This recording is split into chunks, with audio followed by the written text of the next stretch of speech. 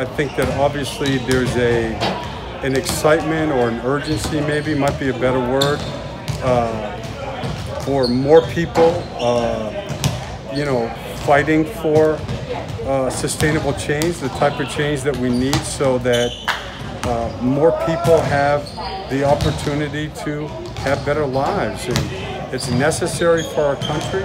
We need police reform. I don't think that there's anything new to this. You know, I think it's new to uh, to America, more white America. Uh, but we've been calling po- police reform. You know, listen, I you can go back and look at sitcoms with Fred Sanford in it, and, and he's talking about police reform. So when you look back that far, uh, Marion, you know that there's an issue.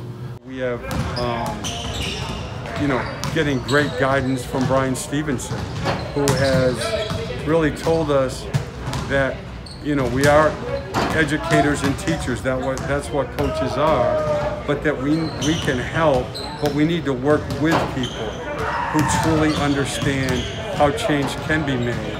And uh, I think, you know, and that's what each of us is attempting to do.